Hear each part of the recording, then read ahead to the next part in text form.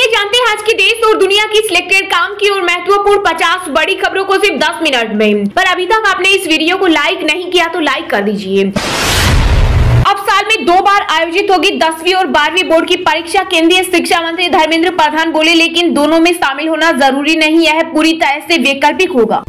की ओर बढ़ रहा आदित्य एलवन बिल्कुल ठीक से कर रहा काम। भारत के पहले सोलर मिशन पर इसरो ने दिया अपडेट। पीएम मोदी बोले, भारत फिर रचेगा दुनिया में इतिहास।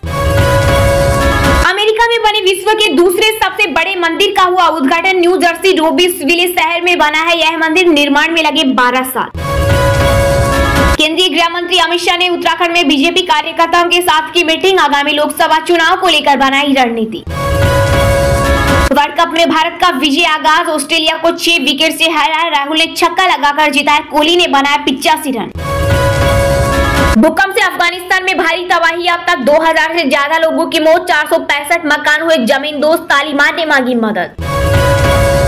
आपकी वजह से हमारा आसमान सुरक्षित, पीएम मोदी ने इंडियन एयरफोर्स डे की इक्यानवी वर्ष घाट के मौके पर वायु सैनिकों को दी बधाई। बिहार की सरकार, एमएसपी और किसान पेंशन दे तो हम नीतीश कुमार को पीएम बनाने के लिए प्रचार करेंगे। अन्यथा ज़रूरत पड़ी तो पटना की सड़कों पर ट्रैक्टर चलाकर विरोध करेंगे किसान नेता, राकेश टिकट का बड़ा बयान। के बाद लेबनान ने किया इसराइल पर हमला। बॉर्डर पर दागे मोटर। अब तक जंग में इजरायली कमांडर समेत 600 से ज़्यादा की मौत, दो फिलिस्तीनी भी मारे गए। जापान ने की शांति की अपील। अगले साल के अंत में शुरू होगी देश की पहली बड़ी निजी सोने की खदान। पूर्ण पैमाने पर करेगी उत्पादन। रक्षा मंत्री राजनाथ सिंह 9 से 12 अक्टूबर तक फ्रांस और इटली के दौरे पर रक्षा संबंधों को मज़बूत करने के लिए अहम दौरा। भारत में शामिल होगा पाकिस्तान का सिंध, सीएम योगी बोले राम जन्मभूमि वापस ले सकते हैं तो सिंधु क्यों नहीं? पढ़े लिखे मुस्लिमों पर बीजेपी की नज़र, चुनावी राज्यों में पार्टी की पेट बनाएँगे मोदी मित्र। गुजरात में गरबा कार्यक्रमों में लव जिहादियों को घुसने से रोकेंगे विश्व हिंदू परिषद व बजरंग दल, रखेंगे पेनी नज़र। पंजाब के सीएम भगवंत मान ने सुनील जाखड़, सुखवीर सिंह बादल और राजा वंडिंग को दिया खुला चैलेंज कहा रोज रोज की किचकिच के बजाय एक बार आए और पंजाबियों व मीडिया के सामने बैठकर बात करें।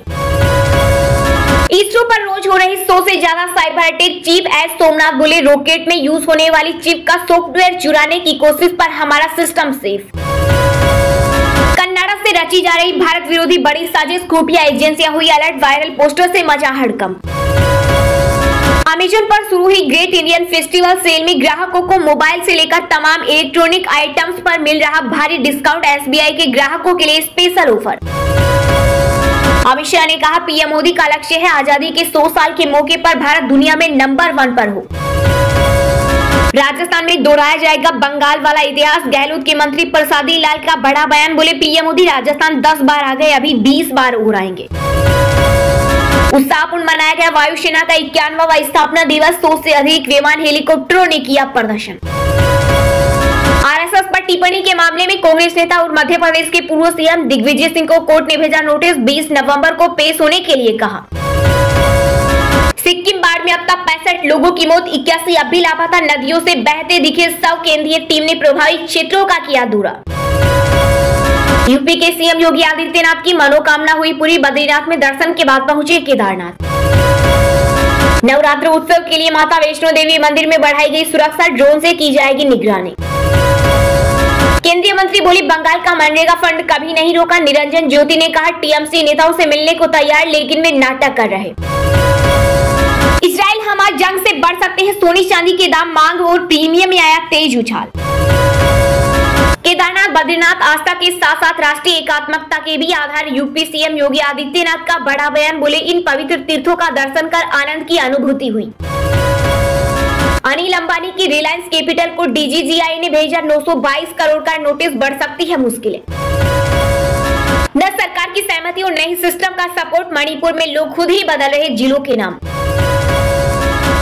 रनौत की मोस्ट अवेटेड फ़िल्म तेजस का ट्रेलर हुआ रिलीज़ वायुसेना दिवस के मौके पर जोश एक्शन और रोमांस का लगा तड़का।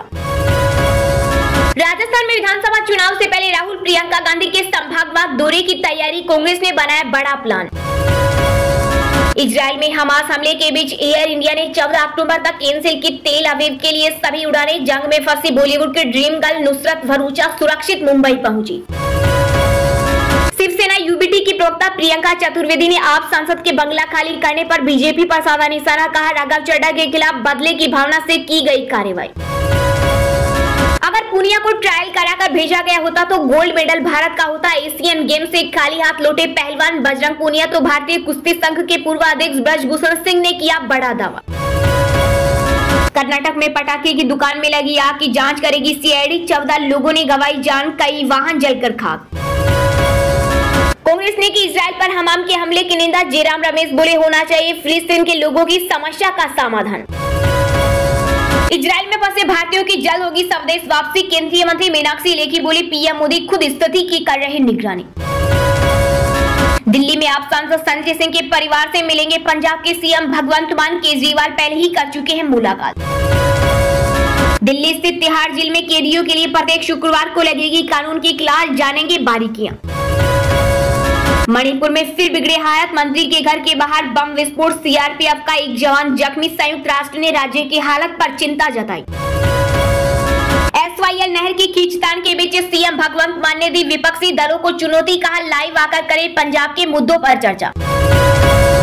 चीन से निपटने के लिए भारत अपनी सेना को सिखाएगा मंदारिन भाषा। टेटोरियम आर्मी ने की विशेषज्ञों की भर्ती। बॉर्डर विवाद पर भारतीय सेना की स्ट्रेटेजी। दिल्ली में आम आदमी पार्टी के साथ लोकसभा चुनाव में सीट शेयरिंग पर हमारी कोई भूमिका नहीं। कांग्रेस प्रदेश अध्यक्ष अरविंद सिंह बोले, अलाकमान के फैसले पर करेंगे अमल। यूपी के देवरिया मर्डर केस में अब फैसला ऑन द स्पॉट प्रेमचंद और तीन अन्य के अवैध कब्जे पर आज चलेगा बुलडोजर। दिल्ली में आम आदमी पार्टी को लगा बड़ा झटका, ओम नेत्री डॉक्टर चंद्रकांता और ज्योति बड़वाल ने थामा भाजपा का दामन।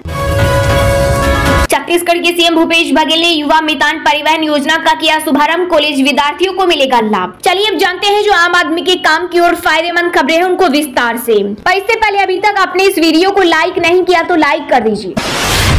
वायुसेना को एयरफोर्स डे पर मिला नया झंडा। पुराने में ही जोड़ा गया हिमालयन ईगल और अशोक स्तंभ। पहली बार लेडी ऑफिसर के हाथों में आईएएफ परेड की कमान। ग्रुप कैप्टन सारिजा धामी ने किया नेतृत्व। रियम भारतीय वायुसेना ने अपना इक्यानवा स्थापना दिवस प्रयागराज के बमरोली एयरफोर्स स्टेशन में मनाया। दरअसल, भारत में ब्रिटिश शासन के दौरान आठ अक्टूबर उन्नीस सौ बत्तीस को रॉयल इंडियन एयरफोर्स के रूप में इंडियन एयरफोर्स अस्तित्व में आई। इस दिन बल भव्य परेड करता है। आई कर्मियों को सम्मानित करता है और देश भर में एयर शो आयोजित करता है। इस वर्ष भारतीय वायुसेना ने अपने मूल्यों को बेहतर ढंग से प्रतिबिंबित करने के लिए प्रयागराज में वार्षिक वायुसेना दिवस परेड में अपने नए ध्वज का अनावरण किया। भारतीय वायुसेना का यह कदम नौसेना द्वारा अपने औपनिवेशिक अतीत को त्याग कर अपने ध्वज में बदलाव करने के एक साल से अधिक समय बाद आया है। नई पताका में सबसे ऊपर दाई कोने में भारतीय वायुसेना का क्रेस्ट होगा। इसमें हिमालयन ईगल और अशोक स्तंभ को जोड़ा गया है। वही यह पहली वायुसेना दिवस परेड है, जिसकी कमान एक महिला अधिकारी ग्रुप कैप्टन सालिजा धामी के हाथों में थी। वह कॉम्बेट यूनिट की कमान संभालने वाली भारतीय वायुसेना की पहली महिला अधिकारी भी है। परेड में पहली बार पूरी तरह से महिलाओं की टुकड़ी शामिल हुई। जिन्होंने अपने पुरुष समकक्षों के साथ कंधे से कंधा मिलाकर मार्च पास्ट किया। इस दौरान भारतीय वायुसेना ने प्रयागराज के संगम क्षेत्र में एक मेगा एयर शो आयोजित किया। ग्रुप कैप्टन प्रजोत ने बताया कि 10 एयर बेसों से राफेल लड़ाकू जेट और हेलीकॉप्टर सहित 120 लड़ाकू जेट और परिवहन विमानों ने इस अवसर पर हवाई प्रदर्शन में भाग लिया। वहीं दो पुराने विमान हावर्ड और टाइगर मोद संगम तट पर लव और कुछ